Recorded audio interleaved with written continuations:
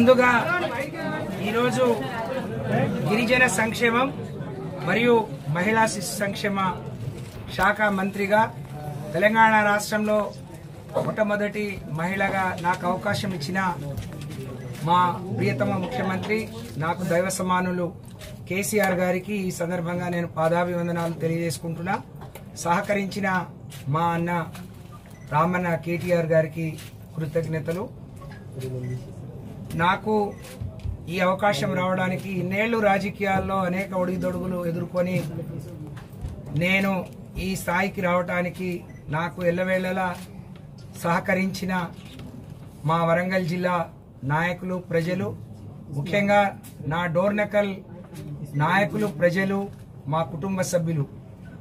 ఏ కష్టం వచ్చినా నాకు వెన్నంటే ఉండి అండదండగా ఉండి నన్ను ఈ స్థాయిలో నిలబెట్టిన ప్రతి ఒక్కరికి కూడా నేను శిరస్సు వంచి నమస్కరిస్తున్నాను. ఈరోజు నేను గిరిజన సంక్షేమం మరియు మహిళా శిశు సంక్షేమ శాఖ మంత్రిగా బాధ్యతలు చేపట్టాను.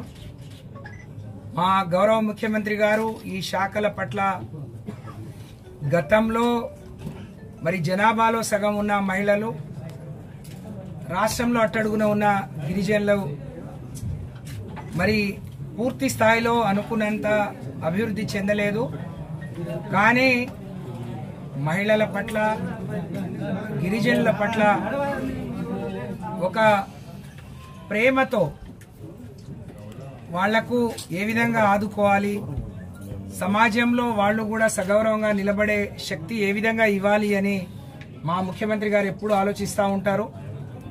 వారి ఆలోచనకు అనుగుణంగా నేను ఒక గిరిజన బిడ్డగా ఒక మహిళగా అనేక సమస్యలు ఎదుర్కొని ఇక్కడి వరకు వచ్చాను.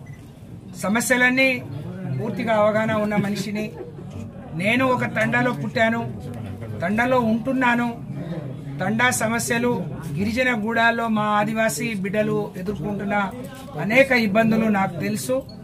అలాగే మహిళలు ఈ రాష్ట్రంలో మరి దేశంలో ఎదుర్కొంటున్న వివక్షను కాదని వాళ్ళు వాళ్ళ కాళ్ళ మీద నిలబడి వాళ్ళ జీవన ప్రయాణం వాళ్ళు సాగించుకునే విధంగా మరి నేను ఒక మ- మహిళగా ఒక గిరిజన బిడ్డగా వాళ్ళకు చేయితనిస్తూ కేసీఆర్ గారి సహకారంతో మిగతా గౌరవ మంత్రులందరి అండదండలతో మా శాఖ అధికారులందరి సహకారంతోనే ఈ శాఖను సమర్థవంతంగా నడిపిస్తున్నా నడిపిస్తాను అనే విశ్వసిస్తున్నాను.